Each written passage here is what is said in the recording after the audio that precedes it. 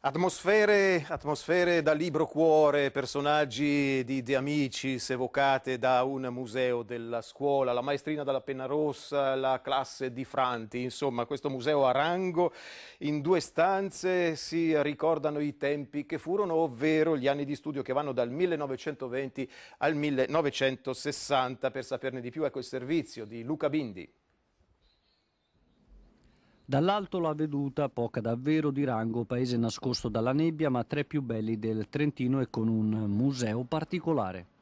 Siamo con Tommaso Iori per qualcosa di fantastico, una scuola che porta una data importante, 1930 o forse esagero? Forse, no, forse anche qualche anno prima, intorno a quel periodo là, qui ogni frazioncina dei paesi aveva una piccola scuola, cioè scuole di campagna più che altro, e questa si è salvata, eh, perché si è salvata? Si è salvata perché non l'hanno toccata. Quindi è diventato un museo della scuola come abbiamo visto all'entrata, per merito suo. No, ha iniziato dieci anni fa. Decina d'anni fa abbiamo, abbiamo, fatto una prima esposizione con ricordi di scuola del piccolo materiale didattico salvato, delle vecchie fotografie e altre cose didattiche così. La cosa è piaciuta moltissimo, alcuni signori, alcune signore hanno visto, si sono commosse, altre, alcune piangevano addirittura e mi hanno consegnato eh, gran parte, alcuni di questi di loro ricordi perché hanno detto oh, io sono sicuro che se non le buttano via e quindi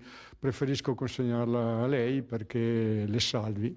E poi ci sono delle chicche, delle foto anni 1930-1940 con sui nomi, complimenti. Abbiamo foto del, addirittura del 26 e del 28 con su praticamente tutti quelli che erano gli abitanti di una, di una frazione. Tra l'altro dei banchi anni? Dai 20-21 fino ad arrivare agli anni 40-45. E che cosa eh, la emoziona di più di questo museo? Eh, mi emoziona continuamente l'incontro delle persone che vengono e queste persone cioè, rimangono diciamo, commosse nel ritrovare la loro esistenza, la loro che poi è ancora la nostra esistenza, come per esempio una signora di 94 anni, la signora Garbari, che è venuta qui e ha trovato, lei non lo sapeva, io ho qua un suo quaderno di scuola da Vezzano e lei è venuta e se l'ha ritrovato qui ed è stato un giorno molto, molto felice.